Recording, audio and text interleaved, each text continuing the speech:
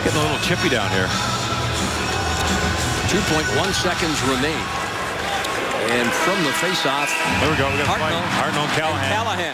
Right in front of the bench. And this happens right off the face-off. Hartnell loses his balance down here. But it was a couple good slashes. A couple good slashes, and then Hartnell backed off and dropped the gloves.